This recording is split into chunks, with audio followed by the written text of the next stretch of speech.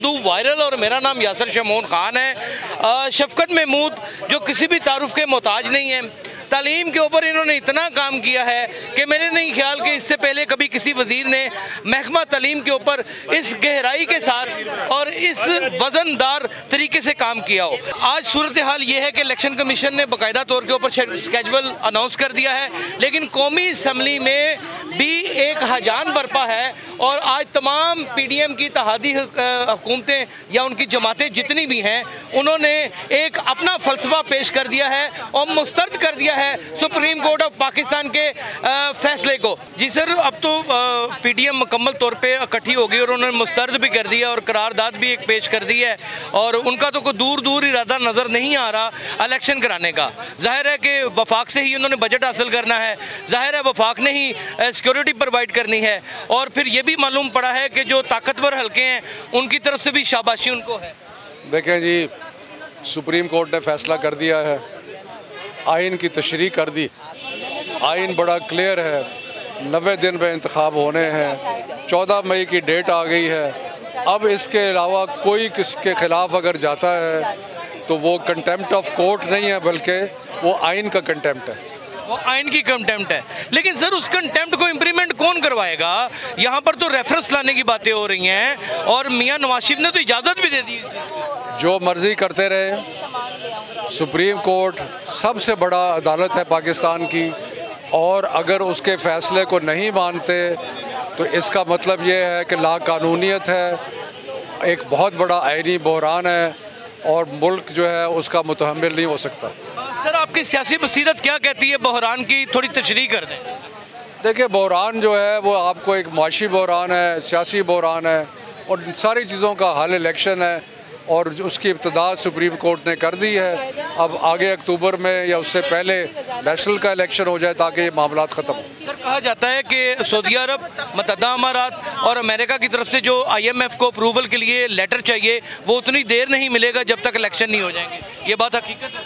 मुझे इसका यकीन नहीं है कि मुझे पता नहीं है। दराज से आपकी जानब से वाइट पेपर कोई नहीं है। देखें मुझे पता नहीं है कि ये हकीकत है कि या नहीं है लेकिन ये बात तो दुरुस्त है कि इकोनॉमिक रिवाइवल का अगर कोई पॉसिबिलिटी है तो थ्रू इलेक्शन है अगर इकोनॉमिकल रिवाइवल की अगर कोई पॉसिबिलिटी है तो वो थ्रू इलेक्शन है। शफकत महमूद साहब का ये कहना था और इसमें तो कोई दूसरी राय भी नहीं है नाजरीन कि जिन मुल्कों में आ, माना ही ना जाए जिस हुकूमत को वहाँ पर इलेक्शन होने ज़रूरी हैं और जब असम्बलियाँ भी डिज़ोल्व हो चुकी हों हुकूमती सतह के ऊपर स्केजबल भी आ चुका हो इलेक्शन कमीशन का बल्कि एक इंडिपेंडेंट इदारा उनका स्केजबल आ चुका हो सुप्रीम कोर्ट के ऑर्डर्स हों फिर इसमें क्या कबाहत हो सकती है और कबाहत पैदा करने वाले कौन से अवामिल हैं कार फरमा कौन से अफराद हैं, वो कौन से ताकतवर हल्के हैं जो सुख का सांस नहीं लेने दे रहे।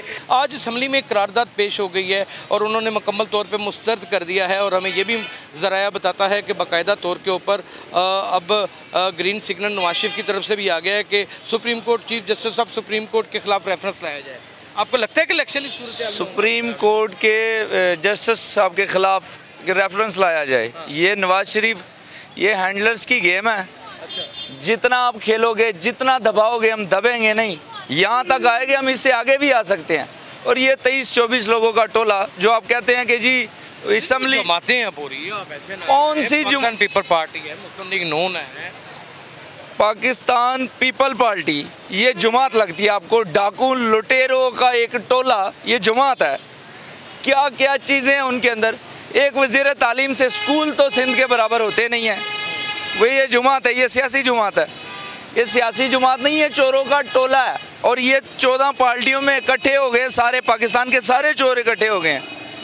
इनकी कानून साजी का कोई वो नहीं है। दूसरा, ये मुस्तरद करें बीस या चौबीस बाल अगर सर से गिरते हैं सर गंजा नहीं होता नवाज शरीफ पहले इतना ईमानदार बनो पहले ये ग्रीन सिग्नल दे दो कि पाकिस्तान आ जाओ उसके बाद हिसाब हम खुद हम खुद ले लेंगे गवर्नमेंट तो भी आएगी हमारी इलेक्शन तो होगा इलेक्शन के बगैर नहीं इलेक्शन नहीं पूछे इलेक्शन होगा ਇਨਸ਼ਾਅੱਲਾ ਇਹਨਾਂ ਦਾ ਪਿਓ ਵੀ ਕਰਾ ਸੀ ਇਲੈਕਸ਼ਨ ਜਾਣ ਦਿਓ ਬੜਾ ਮੁਸ਼ਕਲ ਹੋ ਜਾਣਾ ਜੇ ਜੇ ਪਿਓ ਨਾ ਕਰਾ ਸੀ ਇਹਨਾਂ ਦੀ ਮਾਂ ਕਰਾ ਸੀ ਤੁਸੀਂ ਦੇਖੋ ਪੱਕੀ ਗੱਲ ਇਲੈਕਸ਼ਨ ਹੋਣਗੇ ਹੋਣਗੇ ਇਤਨਾ ਯਕੀਨ ਕਿਵੇਂ ਕਿਵੇਂ ਹੋਏ आ- आपको अल्लाह के होने पे यकीन अल्लाह के है होने आपको यकीन है। कि दरख्त पौधे पत्ते उगते हैं सांस लेते हैं हम इंसान हैं हमें अल्लाह ने पैदा किया है और हमने मर के उसी को जान देनी है। तो इसी यकीन से मैं आपको कह रही हूँ इलेक्शन होंगे और ज़रूर होंगे और इनादा प्यो भी ये वो खतून है जो- जब इमरान खान के घर के ऊपर हमला हुआ तो ये पहली खतून थी जो पहुँची और वहाँ पर उन्होंने सब कुछ अपनी आँखों से देखा भी और बाकायदा तौर के ऊपर धक्के भी जी बिल्कुल मैं आई विटनेस हूँ मेरे सामने इन्होंने खान साहब का गेट तोड़ा।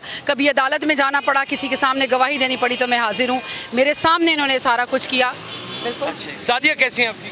अल्लाह का शुक्र। अब कह रही तो इलेक्शन हो जाएँगे। इंशाल्लाह नहीं ज़रूर पाकिस्तान तरीके इंसाफ के आप पार्लियामेंटेरियन की हैसियत से ना इसका जवाब दें या इसके कारकुन नहीं दिल से जवाब दें। देखिए मेरा तो यकीन है कि इंशाल्लाह इलेक्शन ज़रूर होगा। हाँ ये लोग ज़रूर गंद डालने की कोशिश करेंगे। तो दिया उन्होंने आ, उन्होंने पार्लियामेंट में कह दिया और नवाज़ शरीफ ने भी बकायदा जराया बता रहा है कि उन्होंने बकायदा नवाज़ शरीफ ने कह दिया कि रेफरेंस लाया जाए chief justice of supreme court के खिलाफ। यही तो घटिया हट गंडे हैं इनके। जब इनके लिए रात 12 बजे फैसला आए तो वो जजेस भी सही हैं और अदालतें भी जो इनकी मर्ज़ी के खिलाफ आ जाए ये मौत से कितना भागेंगे? मौत ने तो एक दिन आना है। मौत ने तो एक दिन आना है ये सबसे अहम बात है।